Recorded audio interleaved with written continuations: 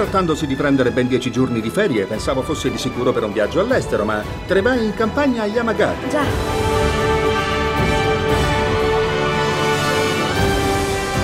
Fantastico!